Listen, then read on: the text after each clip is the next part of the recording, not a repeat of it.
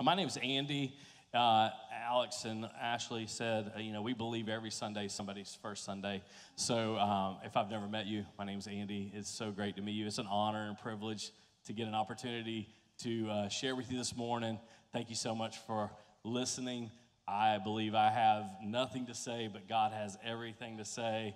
And um, I just, I tell people when I meet with them, you know, God once spoke through a donkey, so I hope I'm just on donkey level. I hope, you know, I hope I'm at least donkey level today. So uh, if you take anything, it is, it is not me, it is Him. So uh, this message just to be real candid right up front, has been really difficult for me. I uh, was way late. Our production team, they're amazing. I turned stuff in really late, uh, really battled over pulling this together. So, to let you know a little insight on me, uh, when Pastor Sean asked me to speak and tells me that I'm speaking and that the series is called Come Home for Christmas the way I'm wired, the way I'm geared, I immediately then pray and beg God to show me something, to give me something, so that when I'm finished, you leave going, ah, that's why they called it that.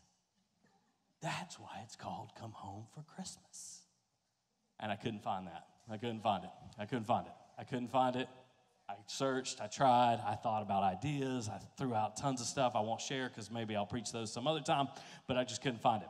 And then last week I heard Mac speak, and then I also knew what was coming here in the next couple weeks, and I was like, ah. Because when I found out and read what I thought I was supposed to share, I was like, oh, this is a setup. It's a series, it's a setup. You know, and I think that last week's gonna build on this week, and then these two weeks will build on next week, and then everything is actually culminating to 3 o'clock, 5 o'clock, and 7 o'clock on Christmas Eve when we'll all join together. And I think that is where God is going to drop what it means to come home for Christmas. So I'm real excited. Don't miss it. 3, 5, and 7 Christmas Eve. Invite everybody.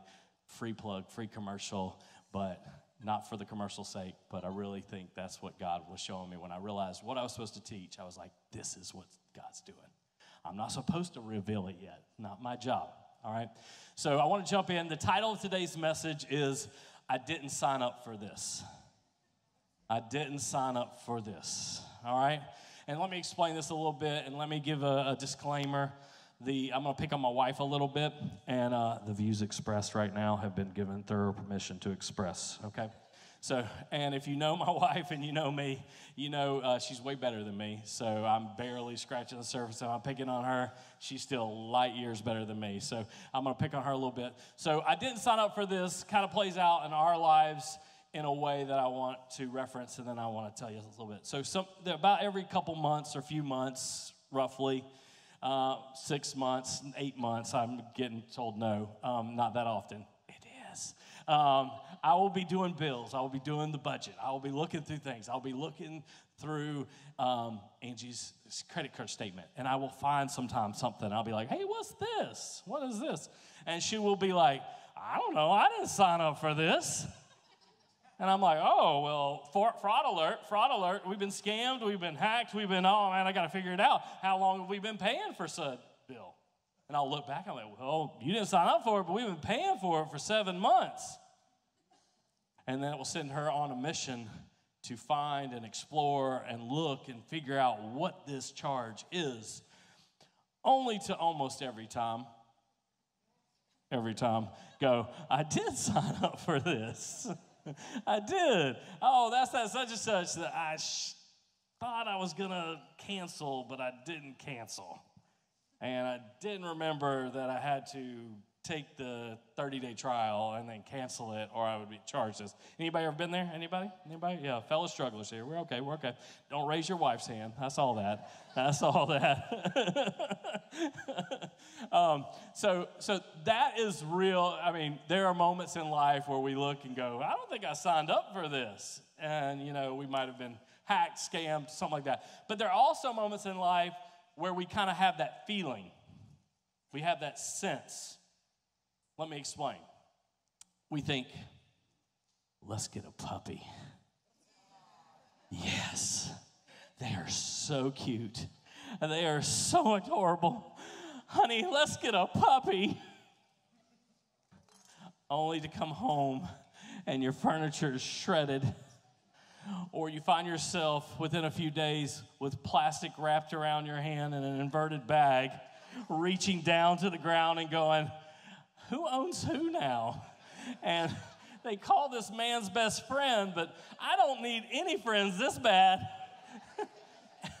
and you think, I didn't sign up for this.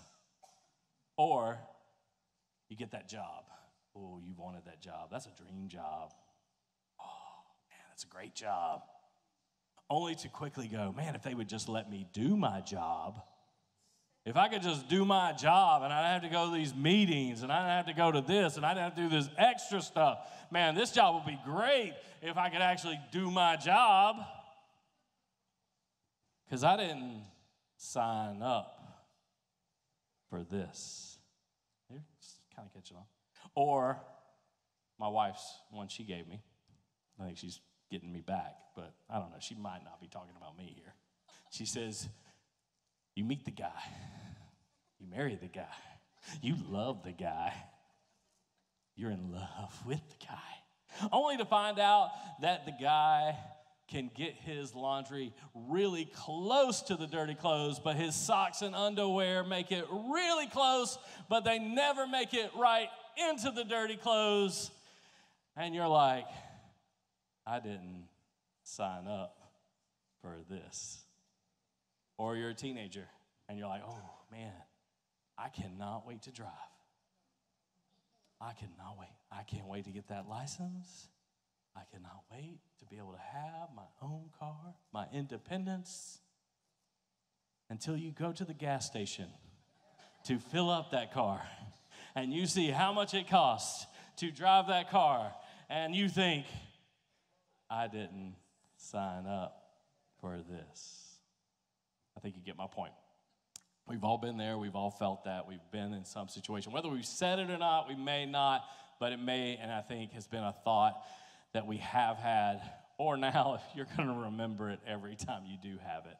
And the Christmas story has two characters that I want us to look at today that didn't say it, but man, they were given a huge opportunity to say it, and they might have thought it, but we know they didn't say it.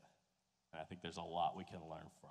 So let's pray and we'll jump in. God, thank you so much for what you're going to show us through Joseph and Mary this morning and how it's going to impact our lives. I pray that we're willing and open to listen and apply whatever you show in us, and that we leave better than we walked in. I ask this in your name. Amen. We're going to look at Joseph and Mary, and uh, we find Joseph, uh, the section I'm going to talk about in uh, Matthew chapter 1. Now, a little context for you that I think will help you is a lot of people believe when we are reading about the stuff that Joseph and Mary are finding out and learning today that they were roughly between the ages of like 13 to 18. Okay? So I think it will help you and I to properly process this if we find our 14, 15 year old self and think about hearing this news as a 14 year old. I think you'll be deeply convicted by that because mm, I don't know if you're me, but sometimes I don't handle this well at my current age, much less there's no chance the 14 year old me would have dealt with this really well. So I think that's some context that I think will help us.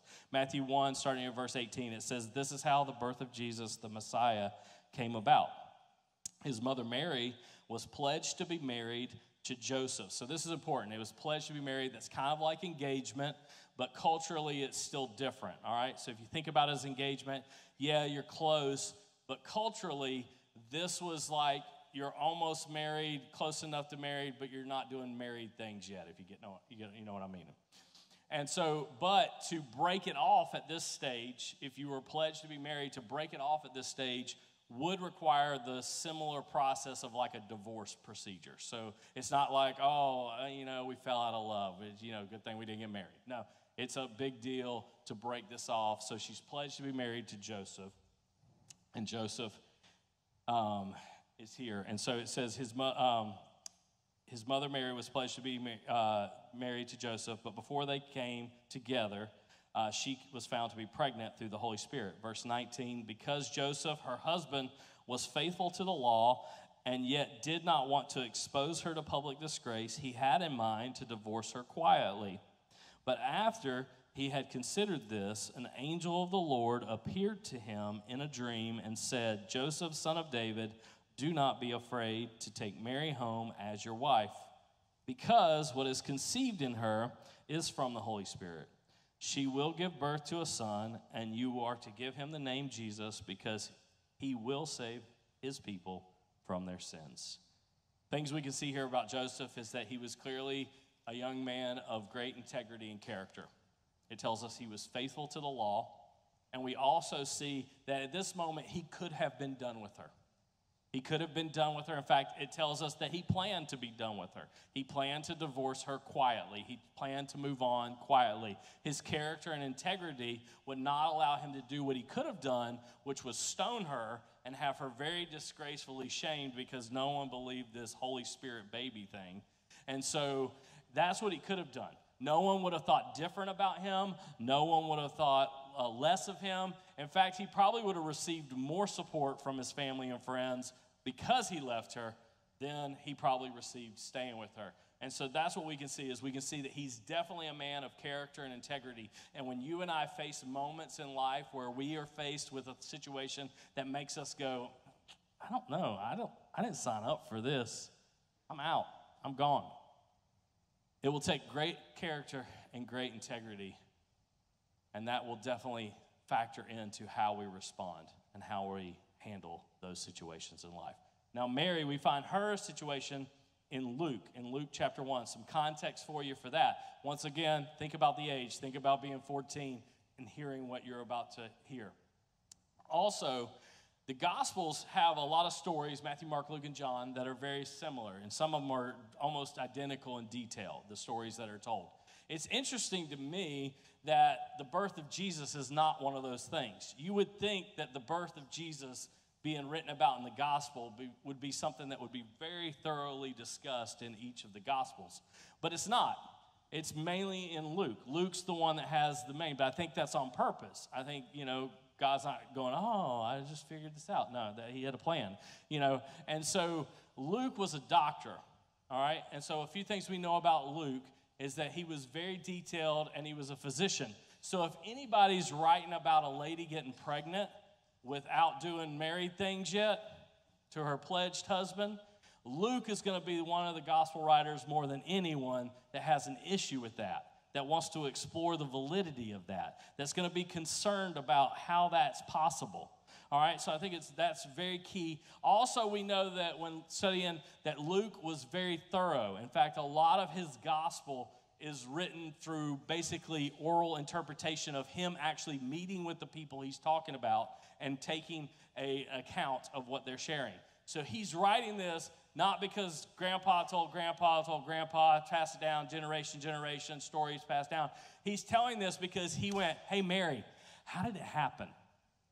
Tell me about it. I'm thoroughly engaged. I want to know. Angel came and said, What? What did you do? What were you feeling? What were you thinking? And so I think that context is really important when we read that. And I think it's something that should embolden our faith. It should be something that really stokes our faith about the validity of our story here. So, Luke 1, starting in verse 26, it says, In the sixth month of Elizabeth's pregnancy, this is key, and it'll come back here in a minute. God sent an, the angel Gabriel to Nazareth to a town in Galilee.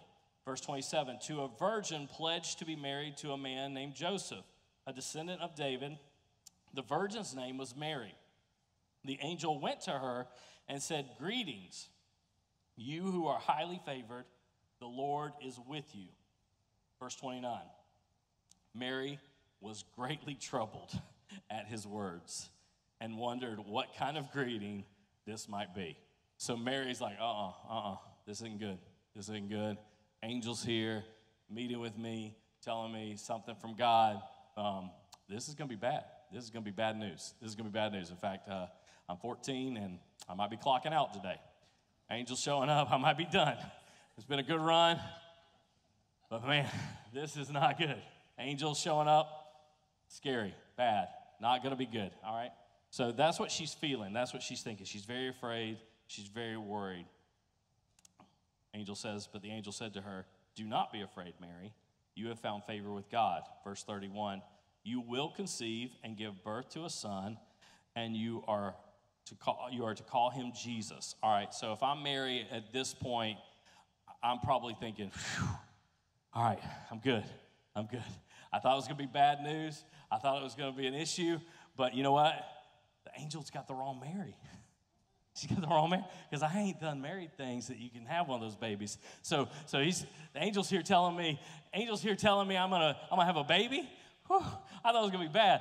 I'm about to clear this up. I'm about to clear the confusion because I'm about to tell Gabriel, hey, wrong Mary, wrong Mary. Some other Mary is gonna get some bad news today because it ain't this Mary because this Mary ain't having no baby. Ain't no way this Mary's having a baby. So if I'm Mary, I'm thinking, whew, I thought it was gonna be bad. Uh, it's just angel found the wrong house. Angel found the wrong place. All right. I don't know if that went that way, but if I were Mary, that's how that would have went. Verse 32 He will be great and will be called Son of the Most High, the Lord God. The Lord God will give him the throne of his father David and will reign over Jacob's descendants forever. His kingdom will never end. How will this be? Mary says, verse 34. Mary's like, What? No, no, no. Wrong Mary. Hey, wrong Mary. How will this be? This is not possible. How will this be? Mary asked the angel, since I'm a virgin. The angel answered, The Holy Spirit will come on you, and the power of the, of the Most High um, will overshadow you. So the Holy One to be born will be called the Son of God. Verse 36 Even Elizabeth, your relative, is going to have a child in her old age and she who is said to be unable to conceive is in her sixth month, which is why that was important. Verse 37 For no word from God will ever fail. Things we see here about Mary is riddled with fear, riddled with confusion, scared to death, hoping that maybe there's another Mary around. You and I, when we face moments in life that make us want to go, oh, I didn't sign up for this, it should not shock us that it will come in moments that are fearful and very confusing. The moments where you and I are tempted to go, I didn't sign up for this, are not going to be moments where you're like, great, so glad it's going this way, so happy so happy. I'm scared to death and confused. Awesome. Love you, God. This is amazing. No, these moments are more like Mary read them. Uh, this is impossible. How is this going to work? This is impossible, God. There is no chance. These situations are more like, why? why me? No, not me. Another Mary. Not me. Why? Why? I don't know how this is. No, why? These moments are also like, how? How? How is this possible? I'm a virgin. How is it? How, I, I don't get what you're saying. It's impossible. I don't know why. And I clearly really don't know how. These are the moments. They shouldn't shock us. They shouldn't surprise us. If they have before, they shouldn't now going forward because they very much did for Joseph and Mary. But once again, 14, 13, 16, somewhere in there, Joseph and Mary. And we know because of what we're currently in the season of celebrating and will for the next few weeks celebrating, celebrate, that they didn't find themselves at a place where they said, I didn't sign up for this, I'm out. Find another Mary. Mary, find another Joseph, I'm out. They didn't say that. So, so what helped them? What helped them, and how were they able to respond however they responded? This is what's fascinated me. This is what's challenged the heck out of me this week, and this is what's helped me the most. And so I want it to help you as well. And so I want us to spend the rest of our time looking at that. Look at what helped them and how they responded. What helped them and how they responded, because I think in there is where we find what we need today. So let's start with what helped them. What helped them is first, they heard from God. They both heard from God. We see they both clearly heard from God. In fact, the last verse I read about Mary's account said, For no word from God will ever fail. No word from God will ever fail. Some translations translate this verse and say, Nothing is impossible with God. All right, nothing is impossible with God. And so we both know they heard from God and they were in that place of hearing from God, which leads me to assume that if they're hearing from God, they number one had a relationship with God, and number two were walking closely enough with God to hear Him. This is so key. Because if you and I are not in a relationship with God, there's a lot of noise and it might be difficult to hear which is clearly the voice of God and what is not. And if we're not walking closely with God, just like if you're sitting in the back row of the balcony area right now, if you're not walking closely with God and you are God and I am me, Without the microphone, you cannot hear what I'm saying. You might have heard something on the front row, but if I'm not close with God, I cannot hear God. So we know that they heard from God. They both got angel delivery service through a dream or through in person to hear the voice of God, to hear the word of the Lord. And I think that helped. I think that helped. It scared them at first, freaked Mary out but it helped. The second thing that helped them is nourishment from other believers. Nourishment from other believers. I'll explain why I titled it that. There's probably a better title, but I'll explain. You'll, it'll make sense why I called it that. All right, so nourishment for other believers. Let's look at Luke 1 39 through 40. Luke 1 39 through 40 is picking up where I kind of stopped. It says, At that time, at what time? At the time the angel left. All right, as soon as the angel delivered the news, dropped the bomb on Mary, uh, Mary realizing that it wasn't a different Mary. Um, this is what, at that time. At that time, Mary got ready and hurried to a town in the hill country of Judah where she entered Zachariah's home and greeted Elizabeth. And greet Elizabeth. All right, so some translations say Mary made haste. At that time, Mary made haste. So there's an urgency, there is a hurried mentality. There is, this angel has just departed and dropped some news on me that is, wow, this is big, this is important. But this angel has also told me that old Elizabeth, not young Elizabeth, old Elizabeth, my relative, like old Elizabeth, like shouldn't be having any babies, old Elizabeth, wanted to have babies but hadn't had any babies, is pregnant, and she's been pregnant for six months. And Mary was like, I got to get to her. I got to get to her. Why did she have to get to her? Because what did she find in Elizabeth? Elizabeth's old. Elizabeth shouldn't be having a baby, but she's been pregnant for six months. So when she shows up, she finds in Elizabeth someone that goes, Yeah, nothing is impossible with God. Everything's possible with God. I'm living proof right now. In fact, Zechariah doubted it, and he hasn't talked since the day we were told we were pregnant. I'm living proof. This right here is why we push and talk about small groups so much. Because you want me to tell you what you find in small groups? Nourishment for other believers. You find someone in your small group who's been through what you're going through.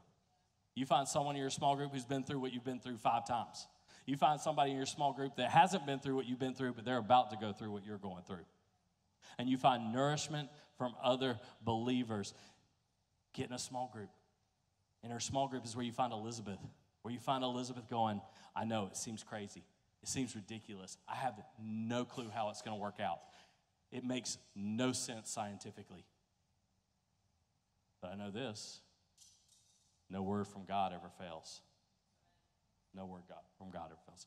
So get in a small group. Small group semester just ended. Another commercial plug for you. Go to check, go to the website, check out small groups, and sign up. They start back in January. All right. There's a meeting next week. If you're someone sitting here going, "Yeah, I've been through a lot. Yeah, I could I could be some nourishment. People could feed off me for days." All right.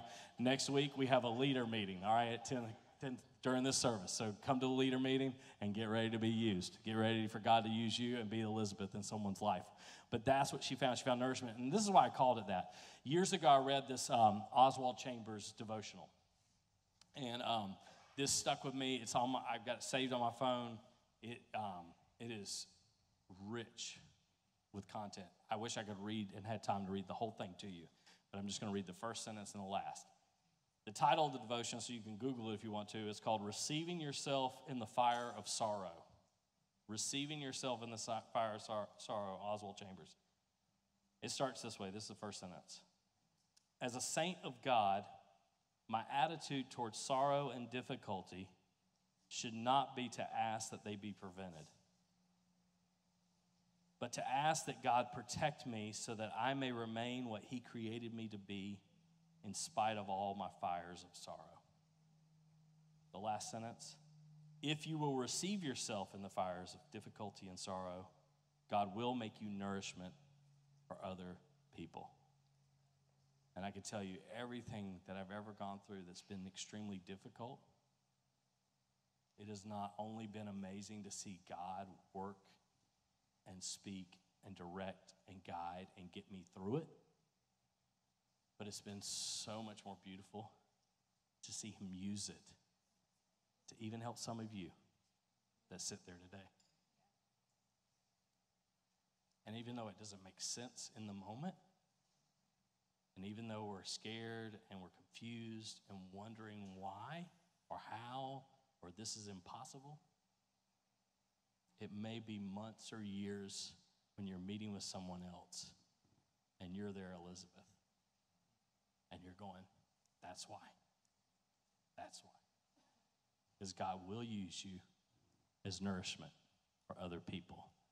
And I think this is what helped them. This is what helped them. I've been watching the um, Man in the Man in the Arena documentary about Tom Brady. I don't know if you know about it, um, but I was watching it the other night, right at, right after I finished writing this, and um, there was a, I think it's the second episode, it's called Tough Times. And uh, he said, You have to put people around you that help you be the best you can be. And I realized the toughest things I've faced in life have been the best things for me. That is the great theologian Thomas Edward Patrick Brady Jr. I told Pastor Sean, I knew if I quoted that, no matter how the message went, it would be a great message. This is great, and uh, this is probably enough for us to chew on and take home with us, but I really want you to see how they responded. I really think this is where I knew this is what we were supposed to talk about. So let's look at their response. Joseph's response, we go back to Matthew, Matthew 1 24. And in 124, we get one verse it says when Joseph woke up, he woke up. Remember, the angel came to Joseph in a dream and told him, Yes, Mary is going to have a baby. And yes, she didn't cheat on you. The Holy Spirit is taking care of that. And uh, she is a virgin. And uh, take her home to be your wife. It's going to be great. And you're going to raise Jesus. Um, it says when Joseph woke up, he did what the angel of the Lord had commanded him and took Mary home as his wife. That's his response. We see he woke up and did. He woke up and did. He woke up and did what he was commanded to do. And that, we could kind of gloss over that. We'll probably just read through it really quickly. Uh, it doesn't seem like that big of a deal. It doesn't seem like that. Um, it might be something we just miss until we remember that delayed obedience is still disobedience. Delayed obedience is still disobedience. So this is huge. This is huge. He didn't wait and go, okay, I had this weird dream last night. I can't believe I can't, can't even believe I'm telling you this. But I had an angel show up and told me Mary's pregnant and it's Holy Spirit baby. And uh, you know, it's you know, it's I I'm gonna have to see, I'm gonna have to see a, I'm gonna have to see some proof. I'm gonna have to get some tests done. We're gonna have to figure out because I don't believe it.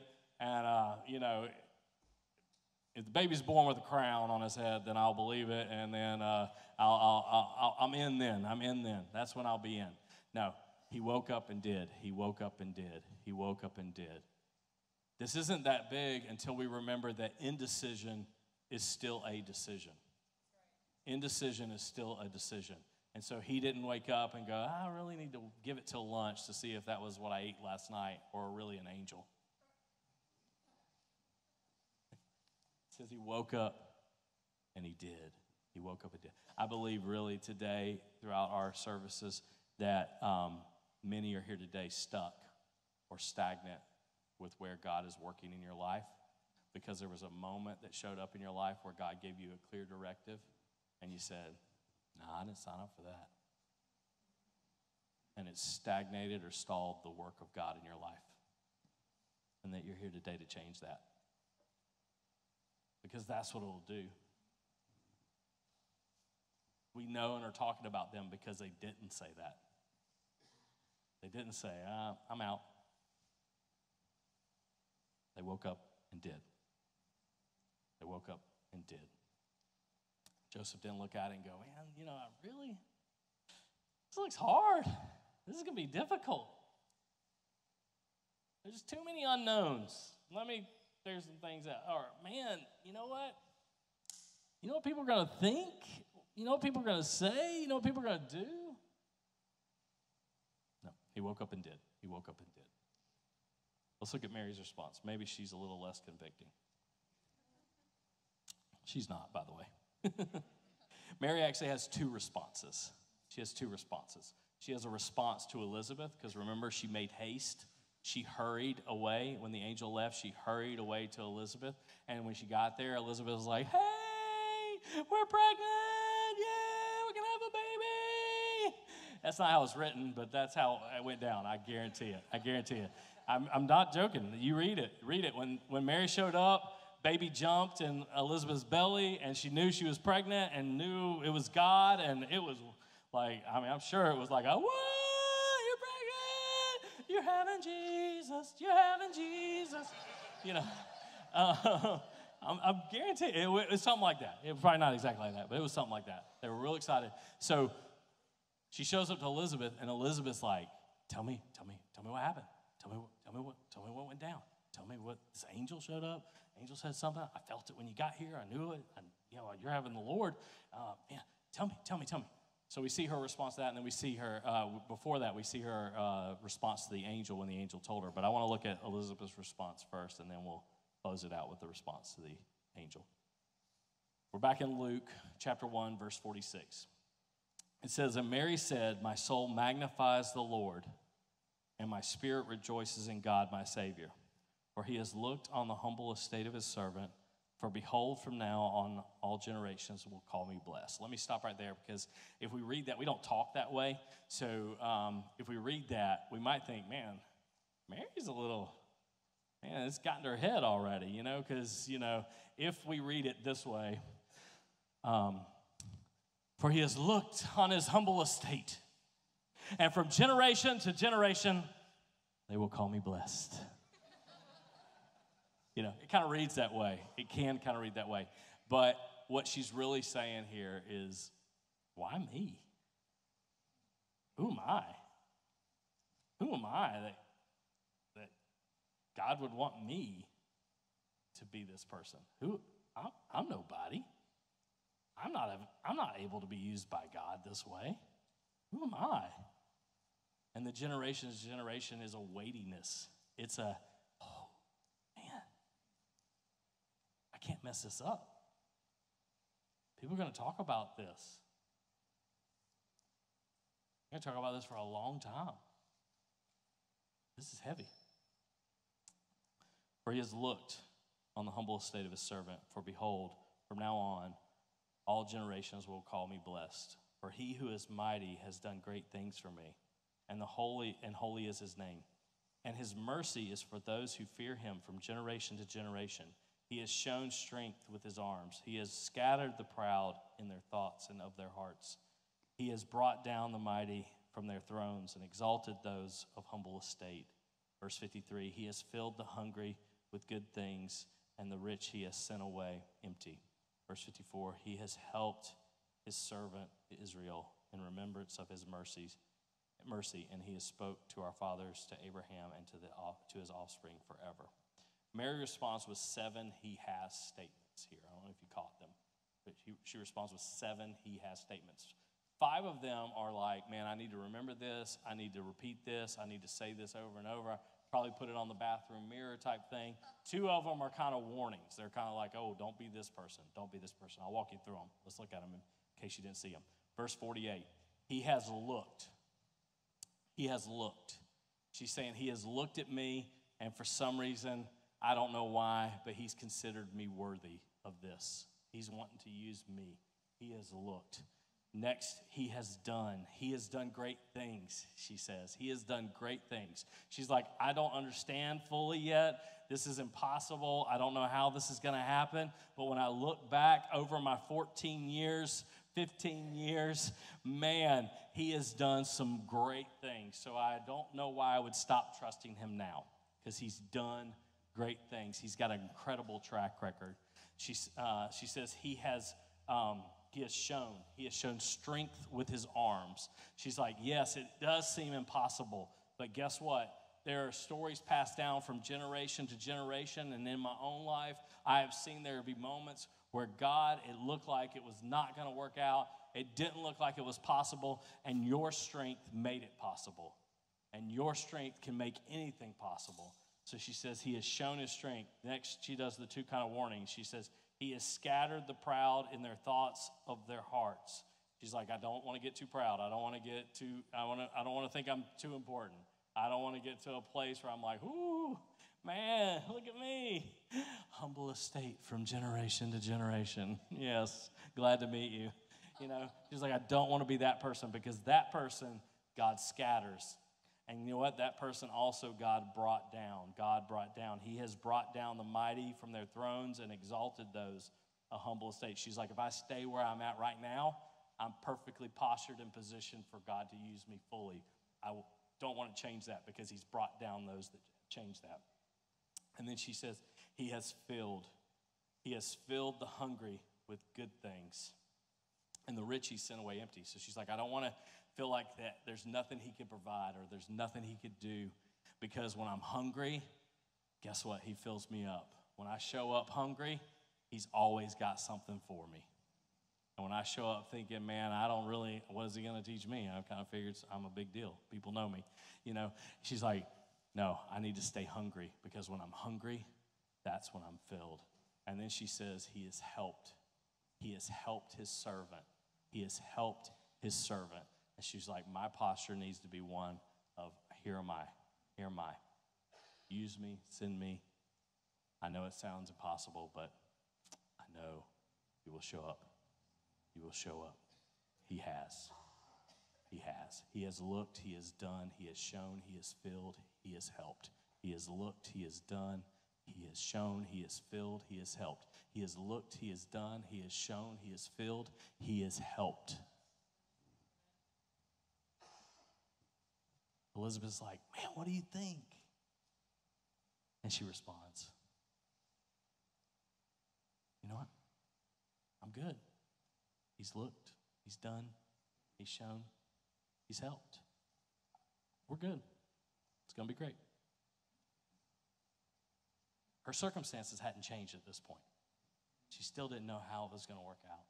Because remember, she made haste, so she took off as soon as she could to get to Elizabeth as soon as she could. Her response to Gabriel was just as powerful and just as impactful. In Luke 138, after getting this news, it says, And Mary said, Behold, I am the servant of the Lord. Let it be to me according to your word. Let it be to me. Let it be to me. What a powerful statement. What a picture of full surrender. We miss out on so much when this is not our posture and our position as followers of Christ. When it's not one of, I'm a servant of the Lord, let it be to me. I don't understand why this has happened this way or why this is going this way. I don't like it. I don't enjoy it. I don't expect I ever will confused. I don't get it. But let it be to me. Let it be to me. I'm a servant of the Lord. Let it be to me. Let it be to me. It's easy to think, man, I, I didn't sign up for this kind of Christian life. But we did. we did. We did. Jesus came and took all our sin, all our shame, in exchange for all his love and all his grace. And what he asks from us is to surrender and trust him. Surrender and trust him. We did sign up for that. And for us, it's easy because if you're like me, I want to define that as ease, as peace, as blessing, as heaven, not hell, comfort and joy, comfort and joy. Oh, tidings of comfort and joy. That's how I want to define that. And yes, it is all those things. Beautifully, all those things. But it's also pure joy when we face trials of many kind, the Bible says. It's also all things working together for good to those who love him and are called according to his purpose. Can I clue you in? It wouldn't say all things if all didn't mean confusing, fearful, bad, troubling, worrisome. It would just say good things work together for the good. But it says all things work together for the good to those who love him and are called according to his purposes. It also says to pick up your cross and follow me. Now, when we really stop down for a moment and think about that, that's not where the cross around your neck. Please do so. I'm not saying that's bad. But that's not what he's saying. He's saying pick up your execution device that was used to kill people. So he's giving us a heads up. This is not going to be easy. This is not going to be without some bumps in the road. This is not going to be without some moments where we go, I didn't sign up for this.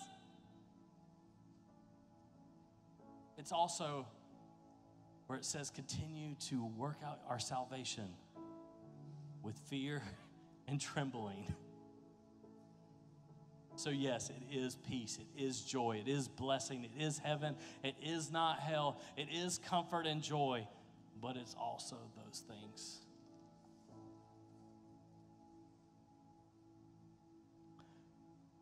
Where are you right now? Where are you right now in light of what we've talked about?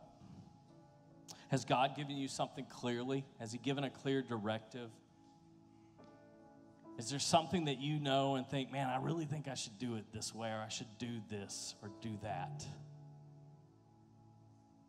But it's difficult and hard and unknown and scary and fearful and confusing and it doesn't seem like it, it, seems impossible and it seems like it won't work. And it seems like, man, yeah, I think it's God, but man, if I were God, I wouldn't do it this way. Why didn't He ask me?